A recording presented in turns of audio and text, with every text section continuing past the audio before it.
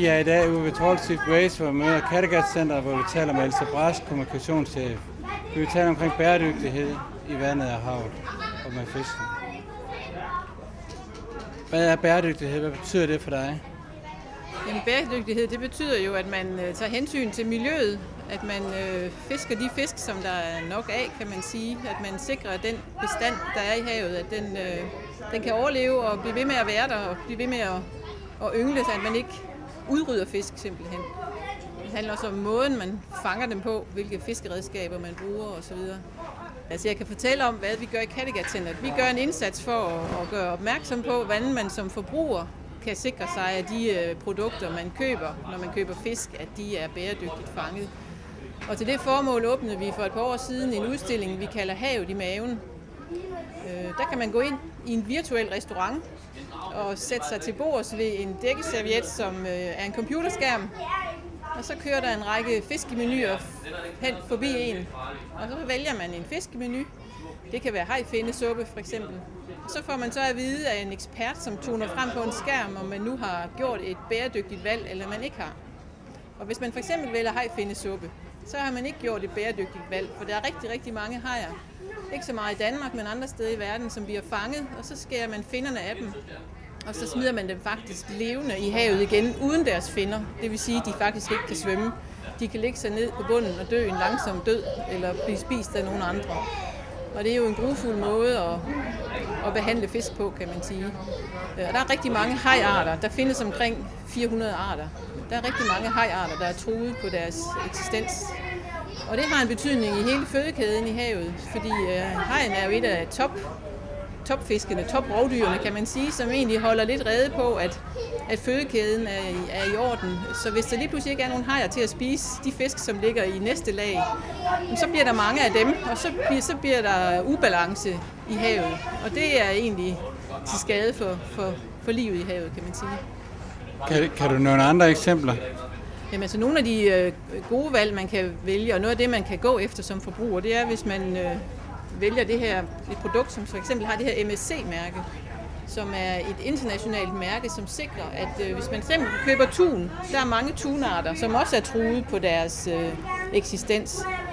Øh, og hvis man så vælger den her albacore-tun med sådan et MSC-mærke på, så kan man være sikker på, at den bestand er, er bæredygtig, og den er fanget på en skånsom måde, og uden de her for eksempel mange bifangster og sådan nogle ting. Så der er en, en, en kontrolinstans igennem lige fra fisken kommer op på, på fiskefartøjet, og så egentlig til det ender med at ligge i dåsen her i, i, på hylden i supermarkederne. Så det er sådan en, en, et budskab, vi gerne vil ud med i Kattegat Center, at man egentlig lærer som forbruger, hvad kan man gøre, hvis man gerne vil sikre øh, bæredygtig fiskeri og miljøet i havet.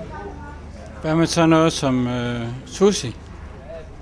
Ja, sushi, der er også øh, der er sådan noget som, øh, som tun, også meget populær. Afhængig af, hvad det er for en tunart, så kan det være godt eller skidt eksempelvis den her albacore-tun, den er så okay, men hvis det er nogle af de andre tunarter, skipjack og hvad de hedder, de forskellige, så, så kan det være problematisk.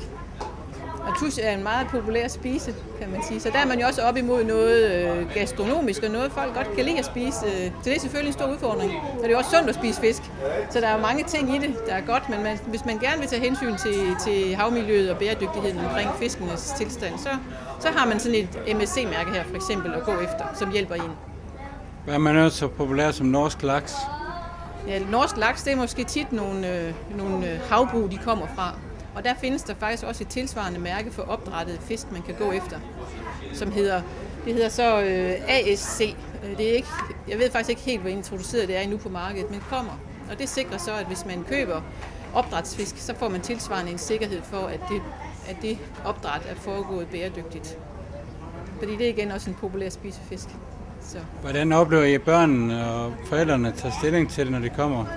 Jeg synes øh, generelt oplever jeg, at voksne de er faktisk meget interesserede, og de bliver positivt overrasket, når de får at vide, at, at der egentlig er noget, de kan gå efter. Fordi det kan være en jungle at finde rundt i sådan nogle ting, og alle mennesker kan jo ikke vide noget om alle de forskellige øh, bestande af fisk, hvad tilstand har de. Så derfor er det altid en god idé at have sådan et mærke, som man kan, man kan stole på, og som man så kan rette sig efter, hvis man, hvis man, man gerne vil det jeg synes, og folk, det, jeg oplever faktisk, at folk bliver positive, og de bliver glade over, at der findes sådan noget, fordi så, så gør det valget nemmere, når man står og skal købe ind.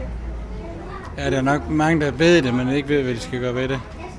Jamen, altså, det er jo, der er jo mange mærkningsordninger på vores fødevarer, og det er jo en stor udfordring at, at vide alt om det, og derfor der ser vi så en, en vigtig rolle for os, at øh, det er noget af det, vi fortæller om i Kattegat-centret. Når vi også er sådan et sted som her, på Tallship øh, Race, så står vi også og fortæller om den slags, fordi vi vil gerne have, at folk bliver bevidste omkring det. Og det bliver som regel meget positivt modtaget. Hvad er prisforskellen på almindelige fiskere? Med de fisk, der er troet, og så de der fisk, der som er CSV? Eksempelvis sådan en, en dåse tun her, den er måske lige en anelse dyre, men øh, den, det ligger, synes jeg, i et, et helt fornuftigt prisniveau i forhold til, øh, hvad fiskekonserves eksempelvis koster. Er det ikke også noget med frosne laks i netto nogle gange har det der mærke?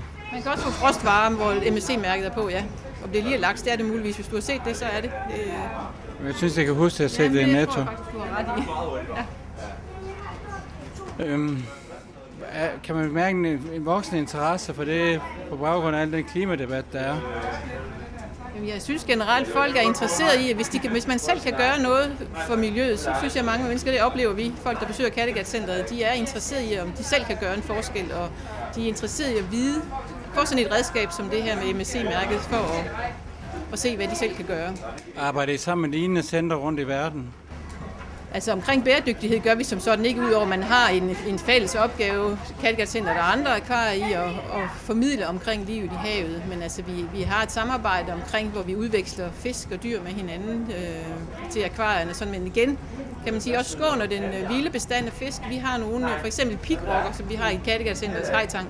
Dem øh, har vi rigtig stor succes med at opdrætte. De føder levende unger hos os, og så kan andre akvarier få glæde af dem, og så får vi tilsvarende nogle fisk fra dem, som vi måske har svært ved at få fat i selv. Så på den måde har man også en, øh, et samarbejde, som egentlig skåner livet i havet og de vilde fisk. I er simpelthen med til også at bevare nogle, øh, stand, nogle arter, som ikke ellers er der? Altså arterne er der, men man kan sige, at vi tager ikke fra den vilde bestand for ligesom at kan udstille dem og vise dem i vores akvarier. Der kan man udveksle med hinanden. Vi, har også, øh, vi køber også fisk ind fra nogle nogle øh, steder, som har ret til at, at fange de her fisk ind, hajer og hvad vi nu ellers har. Vi har også nogle andre søheste, for eksempel, har vi også haft succes med selv at opdrætte, og så kan man så igen udveksle og bytte dem med andre akvarier, og så får vi nogle øh, fisk, som vi ikke selv lige har så stor adgang til. Så, så på den måde kan man også sige, at der er, der er bæredygtighed i det. Det er også med en voksende interesse. Jeg snakker lidt med, lidt med Aarhus Vand, med bæredygtighed inden for vand. Ja. Og de kunne jo mærke den voksende interesse også på verdensplan, at, at det vokses, selvom det ikke blev, snakker jeg ikke på, selvom det ikke øh, EU, det der kropmøder, der, det ikke har været en succes, så har det alligevel været en succes nedad til. Fordi de har kunne mærke, at... Ja, altså jeg tror, at folk generelt er jo bevidste, og måske også, jeg ved ikke, om man er bange for det her med opvarmning og sådan nogle ting, men altså man prøver jo, og det, det enkelte menneske kan jo ikke noget, gøre, noget, gøre nogen forskel, men hvis nu alle forbrugere eksempelvis bliver bevidste om det, så flytter det jo noget, fordi forbrugere har jo en stor magt, kan man sige. Hvis, hvis, hvis den forbrugeradfærden kan påvirkes, så har det jo en betydning i sidste ende. Jeg oplever en stor interesse blandt øh, fiskeindustrien få det mærke der. Altså, der er jo nogen, for eksempel Amanda Seafoods, de har virkelig gjort en stor ære ud af at, at få den her certificering, fordi de har egentlig set, at det er noget, der bliver efterspurgt af forbrugerne. Så de har, de har i en del år efterhånden arbejdet på og de, at få en, en god, øh, hvad skal man sige, et godt sortiment inden for det her fiskekonserves. Øh, og det er simpelthen noget, de har sporet som en efterspørgsel for forbrugerne, og så på den måde egentlig kommet i front, vil jeg sige, herhjemme med det. Og I vil også øh, fundet en efterspørgsel i at, fra forbrugernes side i, i at komme til jer og høre, høre formidlet om det? Altså, jeg oplever, at folk er glade for den information, når de finder den, fordi de øh, måske ikke lige er klar over, hvad de egentlig selv kan gøre, og derfor er det godt at få det her værktøj. Det en, og det, vi formidler det også på en sjov måde, kan man sige. Det er jo lidt et, man siger, det er et alvorligt emne, men det er jo lidt sjovt og festligt at sætte sig til bords ved en restaurant, og så egentlig sidde der og lade som om. Så kan man få sin lade som om man bestiller en menu, og den får man så også på sin øh, servietskærm, som det er. Og så kan man øh, læse noget om, hvad det er for en fisk, og hvis det er en fisk, der er ok at spise, så kan man få, sin, øh, få opskriften på den menu her sendt med hjem på sin e-mail og sådan nogle ting.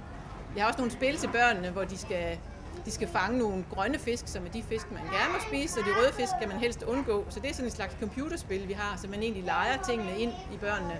Og samtidig så står de voksne måske og kigger på, eller så er de også nogle store legebørn, og så prøver de også, og så øh, kommer de fra Kattegat-centret med, med, med et budskab, som de egentlig har leget ind. Så. Hvordan har I fået udviklet der virtually computerspil, der er med at fange? Jamen, øh, det kører på den her teknologi, der hedder Kinect, som er noget, man lidt også kender for de her Wii-spil, og så har vi samarbejdet med nogle, øh, nogle leverandører, som øh, kan levere den slags teknik, og så har vi selv egentlig puttet, hvad skal man sige, selve indholdet i det, det, det budskab der er, det er os selv, der arbejder med det. Og så har vi jo nogen til at hjælpe os med de tekniske løsninger. Er det kun indirekte igennem forbrugerne, I har indflydelse, eller har I indflydelse på andre måder? Altså primært har vi det igennem forbrugerne, fordi dem, der besøger Kattegat-centret, det er jo danske børnefamilier og udenlandske børnefamilier også. Så det er jo sådan set familierne, som går hen i supermarkedet og skal købe deres fisk. Så det er dem, vi har den direkte adgang til at påvirke. Og så bliver det jo indirekte på den måde, at øhm, jo flere forbrugere, der bliver bevidste om det her og søger de her produkter, jamen så, så er det jo, som Amanda Seafood egentlig har set så fint, at øh, jamen så tilpasser de egentlig det behov, der er, og den efterspørgsel, der er fra forbrugerne. Så den, det er indirekte, vi har indflydelsen, fordi det er forbrugeren, vi påvirker direkte. Jamen det er der. Altså, der er nogle gode spisefisk, som for eksempel havkat og havtaske og sådan nogle, som øh, jo er lækre spisefisk, men, men de, bestanden af dem har det ikke så godt. Øh, ål er også et andet eksempel, som, øh, som er faktisk er meget truet, og det er jo en rigtig, rigtig populær fisk og en, en dansk tradition at spise røget ål. Så, så der er man jo op imod noget, som folk øh, sætter stor pris på, men på et eller andet tidspunkt er der måske ikke flere ål, og så er det slut med ål og snaps til frokostbordet. Så på den måde er det også vigtigt, at man egentlig holder lidt igen og sikrer, bestanden kan, kan klare sig. Hvis ansvar er det for din vinkel at sikre bæredygtighed? Jamen altså dem, der egentlig kan, kan gøre en forskel her, det er jo vores politikere, og så må man jo påvirke dem. Og der, der tror jeg også, at politikere, de, øh, de ser det også på, hvad er forbrugeradfærd, og det er jo vælgerne i, den, i, i deres sammenhæng. Så, men det er jo politikerne, der laver rammerne for, hvordan, hvad, hvad må vi fiske, og hvad må vi ikke fiske, og det er også helt længere fremme i EU og så videre. Og der er jo fokus på tingene, så der er jo mange restriktioner omkring fiskeri og sådan noget, men derfor er der stadigvæk nogle ting, som som er overfisket, kan man sige. Det er jo et spørgsmål om at finde balancen, fordi det er også sundt at spise fisk. Der er jo mange aspekter i det, også hvis man er politiker, kan man sige. Men øh, politikerne sætter jo rammerne for, hvad vi må og hvad vi ikke må. Så, og forbrugerne vælger politikerne. Jamen, tak for det. Tak til dig, Else. Og tak for alle de informationer, du vi bringer os. Kom ud og se, hvad ja. vi har i Kattegat-centret.